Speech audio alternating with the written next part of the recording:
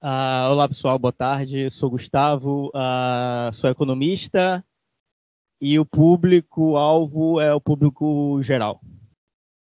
Uh, então, eu vou falar aqui do trabalho que a gente tem feito no, no projeto da, do, do SIDAX, do CEDI. Pois é, então, como a gente sabe, aqui pesquisar não é fácil, não é mesmo?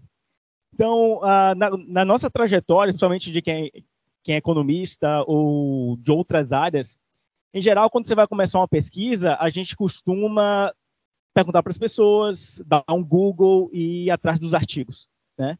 Então, uh, com sorte, pelo menos para nós economistas, alguém escreveu uma revisão de literatura bem feita.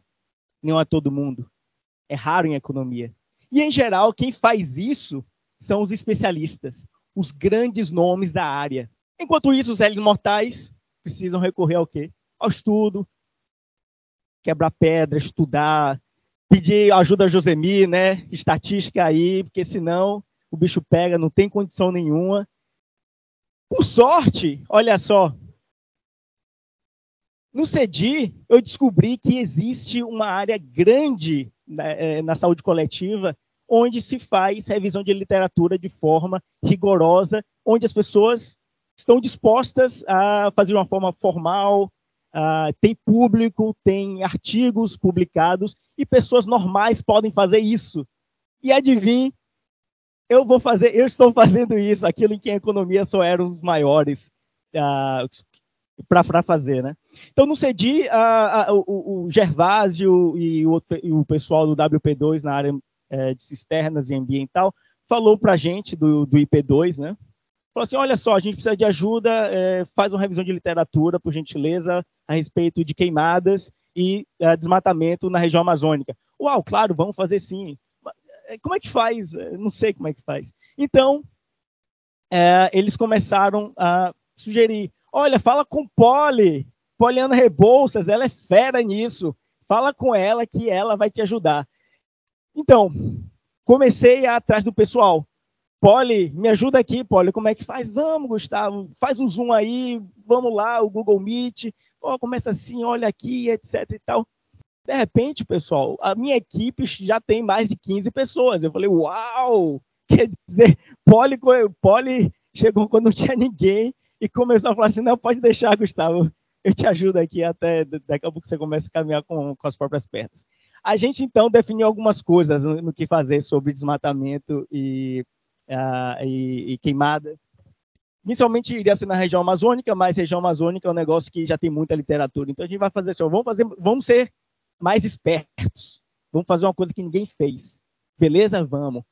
Vamos lá. Então a, a gente começou a pensar assim, ó, quais são os impactos dos incêndios florestais mantendo os resultados da saúde, especialização e estatísticas vitais na área de floresta tropical. Perceba, isso aqui é enorme. Isso daqui está dando um trabalho retado. Thaisa sabe disso a gente, a gente foi tão inovador com a pergunta que simplesmente é um negócio que ninguém fez. Por que será? Porque dá muito trabalho. Então é isso que a gente está fazendo aqui. É um negócio.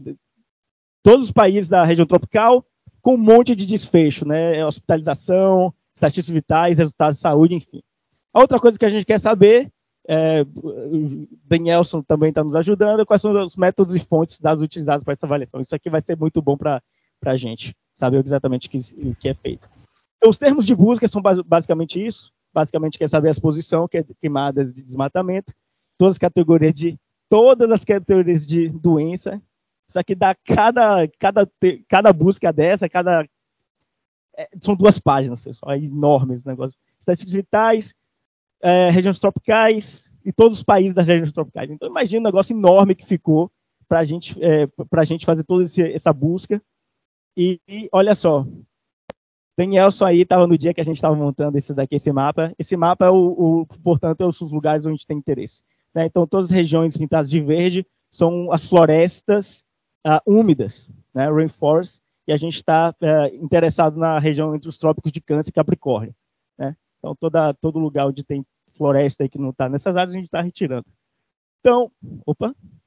Então, o que a gente encontrou até o momento foram quase 9 mil estudos registros, dos quais uh, quase 3 mil eram de duplicadas. Uh, a gente teve que fazer no Ryan em torno de 6 mil textos, olhar um por um, 6 mil textos, bastante coisa, ficamos com 256.